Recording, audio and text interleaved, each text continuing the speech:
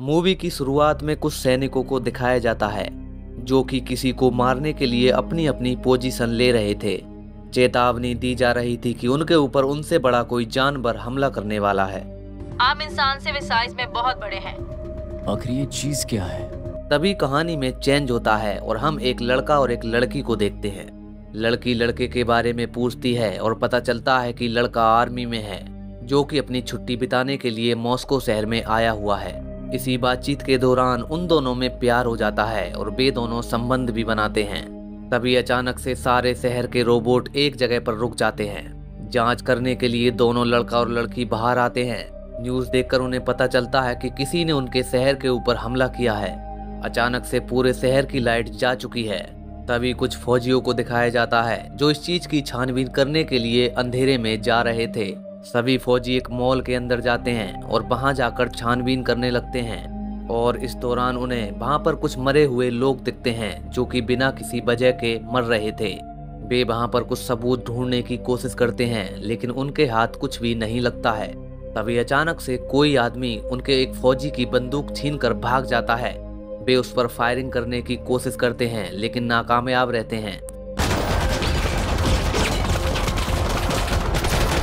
तभी कर्नल सभी फौजियों को आदेश देता है कि यहाँ से जल्दी से जल्द निकला जाए।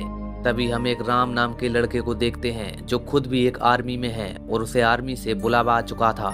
राम अपनी माँ के साथ अकेले घर में रहता था, क्योंकि उसके पिता मर चुके थे। तभी आर्मी के कैंप को दिखाया जाता है, जहाँ पर बहुत सारे सैनिक रहते हैं। तभी एक जनरल आर्मी के सभी सैनिकों के पास आती है और उन्हें बताती है कि उनकी पृथ्वी पर जो अटैक हुआ है, वो एक न्यूक्लियर तरह का हो सकता है।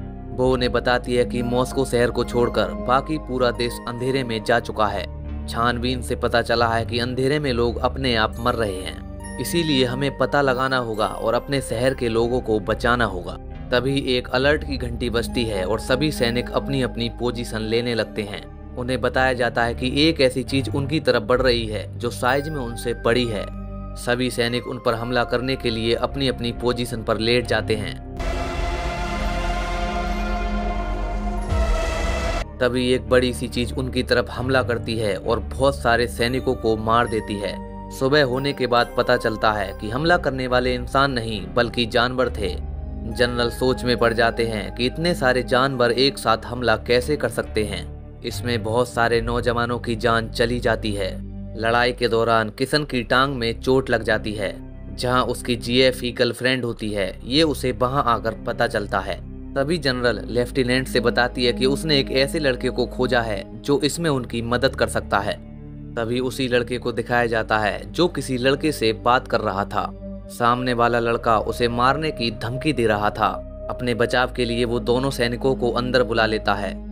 लेकिन अंदर आने के बाद दोनों सैनिकों को वो लड़का दिखाई नहीं दे रहा था। वे सैनिक उसे उस लड़के का बहम बताते हैं और वहाँ से चले जाते हैं। तभी राम को दिखाया जाता है, जो अपने दोस्त किशन के पास बैठा हुआ था। दोनों आपस में उसी हमले की बातचीत कर रहे थे। उसी रात को सभी सैनिक अंधेरे में ये पता लगाने के लिए जाते हैं कि आखिर अंधेरे में लोग क्यों मर रहे थे। जहाँ राम की मुलाकात एक टीना नाम की लड़की से हो जाती है, जो कि उनके साथ प्रेस के काम में थी।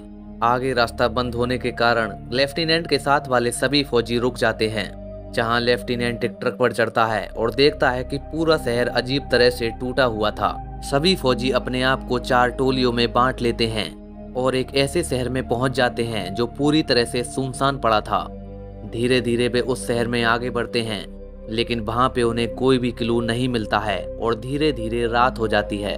वे उसी रात उसी शहर में रुकने का इंतज़ाम करते हैं और वहाँ जाकर एक बिल्डिंग में ठहरते हैं। वो रात उनकी आराम से बीत जाती है। राम अपनी दुर्मीन से बिल्डिंग से नीचे देख रहा था, तभी वहाँ उसे एक दरवाज़ा खुला दिखाई देता है। ये देखकर वो टीना से रात की फुटेज देखने के लिए कहता है। फुटेज देखने के बाद पता चलता है कि रात वो दरवाज़ा बंद था।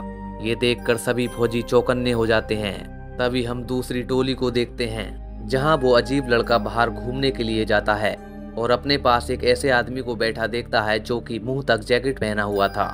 वो आदमी उसे समझाने की कोशिश करता है कि मैं तुम्हारी मदद के लिए आया हूँ, लेकिन तभी वहाँ पर जनरल आ जाती है और उस आदमी को बंदी बनाने के लिए कहती है। लेकिन वो आदमी जनरल के फौजियों से जनरल के ऊपर ही गन तनवा देता है। ये देखने के बाद जनरल सोचती है कि वो आदमी कोई साधारण आदमी नहीं हो सकता। वो उससे बातचीत करने की कोशिश करती है। वो आदमी जनरल से बताता है कि वो उनकी मदद करने के लिए आया है। वो उन्हें बताता है कि जो हमला तुम्हारे शहर के ऊपर हुआ है, वो उन्हीं के जैसे लोगों ने किया है। लेकिन वो मानव जाति को बचाना चाहता है, इसलिए वो तुम्हारी मदद करना चाहता है। दूसरी तरफ़ राम के साथ के सभी सैनिक उसी दरवाजे पर नज़र गड़ाए हुए थे। वहाँ पर जैसे ही हलचल होती है, सभी अपनी बंदूक लेकर उस मॉल में पहुँच जाते हैं। अंदर पहुँचने के बाद वे एक लड़के को खाना चुराते हुए पकड़ते हैं और वे उस लड़के को अपने साथ अपने कमरे में ले आते हैं। इधर जनरल उस एलियन से बात करने में लगी हुई थी। एलियन उन्हें बताता है कि उसके जैसा एक आदमी है जो सभी को कंट्रोल कर सकता है। उसने पूरे शहर के आदमियों को कंट्रोल कर लिया है जो सभी तुम्हें मारना चाहते हैं। तुम्हारा सूर्य हमारे सूर्य से जवान है। इस प्लेनेट पर हम ज़्यादा देर आबाद रह पाएँगे। जल्द से जल्द कोई निर्णय लेना होगा। इससे पहले कि देर हो जाए। इधर वो लड़का अचानक से लेफ्टिनेंट पर हमला कर देता है जिससे लेफ्टिनेंट वहीं पर मर जाता है और सभी सैनिक उस लड़के को मार देते हैं। तभी अचानक से बहुत सारे लोगों द्वारा उन सैनिकों पर हमला हो जाता है। शहर के सभी लोग हथियार ले लेकर उन सैनिकों को मारने के लिए आने लगते हैं। फाइट करने के दौरान सभी सैनिक सोचते हैं कि आखिर शहर के लोग उन्हें मारने के लिए क्यों आ रहे थे। उन्हें पता नहीं था कि एलियन ने शहर के सभी लोगों का दिमाग कंट्रोल कर लिया है। धीरे धीरे शहर के लोग सैनिकों पर हावी होते जा रहे थे, क्योंकि सैनिकों की गोलियाँ खत्म होती जा रही थीं। इधर जनरल भी उस एलियन की बात को समझ जाती है और उसका कहना मानने के लिए तैयार हो जाती है। धीरे धीरे सैनिकों की टोलियाँ खत्म होती जा रही थीं। सभी सैनिक अपने बचाव के लिए लगातार उन आदमियों से फाइट कर रहे थे। धीरे धीरे शहर के लोग बिल्डिंग के अंदर घुस जाते हैं और सैनिकों को मारकर ऊपर की ओर चढ़ने लगते हैं। कैंप की तरफ़ मदद के लिए फ्लेयर आ जाती है। लेफ्टिनेंट मदद के बारे में सोच ही रहे थे, तभी बहुत सारी फ्लेयर उनके कैंप के ऊपर फटने लगती हैं। ये देखकर लेफ्टिनेंट समझ जाते हैं कि कुछ बहुत बड़ा गलत हो चुका है। सभी सैनिक अपनी जान बचाने के लिए छत के ऊपर आ जाते हैं और रस्सी से धीरे धीरे नीचे उतर जाते हैं। दूसरी तरफ़ जनरल उस एलियन को लेकर लेफ्टिनेंट के पास पहुँच जाती है। तभी वो एलियन उस लड़के को एक अलग कमरे में ले जाता है और उसके माथे पर हाथ फिराता है। वो लड़का अचानक से अपने सपनों में पहुँच जाता है और उस आदमी को ढूँढने लगता है जो सभी शहर के आदमियों को कंट्रोल कर रहा था। वो पेन से एक बिल्डिंग का चित्र बनाता है। जहाँ सभी को उस आदमी की लोकेशन मिल जाती है। एलियन उनसे फ़ौरन वहाँ से चलने के लिए कहता है और उनसे बताता है कि उन्होंने जरा सी भी देर की तो वे अपने शहर के लिए बहुत बड़ा नुकसान उठाएँगे। नीचे उतरते ही अचानक से उन सैनिकों पर फायरिंग होने लगती है क्योंकि शहर के लोग उन्हें दोबारा से मारने के लिए आ गए थे। लड़ाई के दौरान राम के साथ वाले सभी सैनिक मारे जाते हैं।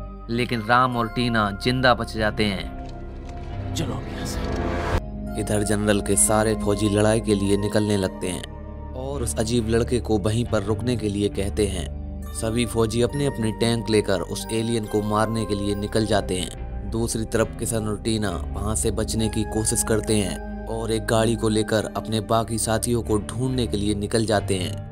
अचानक से सारे फौजी रास्ते में उतरते हैं और ऊपर देखते हैं कि उनके कैंप के ऊपर मिसाइलें जा रही थी। तभी एलियन उन्हें बताता है कि मेरे साथ वाला एलियन तुम्हारे कैंप को नष्ट करने वाला है, और उसे ये बात पहले से पता थी, लेकिन वो तुम्हें बचाना चाहता था। देखते ही देखते थोड़ी देर में फौजियों का सारा कैंप नष्ट हो जाता है। दूसरी तरफ़ किशन की मुलाकात राम से हो जाती है, वो अकेला ही ज़िंदा बचा था। दोनों एक दूसरे को देखकर काफ़ी ज़्यादा खुश होते हैं। और वापस कैंप में जाने का फैसला करते हैं। तभी अचानक से फौजियों के टैंक उन्हें दिख जाते हैं। जनरल अपने ज़िंदा साथियों को देखकर खुश होता है और उन्हें भी अपने साथ उस एलियन को मारने के लिए ले लेता है। शहर में जाने के बाद सभी टैंकों को रुकना पड़ता है। क्योंकि आगे का रास्ता शहर के लोगों ने रोक रखा था, जो कि अपने दिमाग को पूरी तरह से खो चुके थे। धीरे धीरे सभी लोग उनके टैंकों पर हमला करने लगते हैं।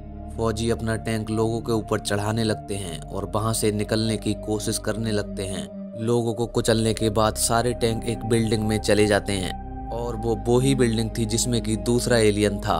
वो एलियन अपने आप को बचाने के लिए शहर के लोगों से उन फौजियों पर हमला करवाता है। फौजी के साथ वाला एलियन अपने साथ किशन को और कुछ सैनिकों को लेकर जाता है ताकि ऊपर जाकर वो उस एलियन को मार सकें। बाकी जनरल के साथ सारे फौजी नीचे वाले लोगों को रोकने के लिए अपनी अपनी बंदूक लेकर नीचे बैठ जाते हैं। थोड़ी देर बाद शहर के लोगों का हमला उनके ऊपर होने लगता है। फौजी उन लोगों का सामना ऐसे कर रहे थे जैसे कि वे जोम्बियों को मार रहे हों। शहर के लोग ज़्यादा होने के कारण बहुत सारे फौजियों को वहीं पर मार देते हैं। बचे खुचे फौजी अपनी जान बचाने के लिए वहाँ से जाने की कोशिश करते हैं। छत पर जाकर दोनों एलियन का सामना एक दूसरे से हो जाता है।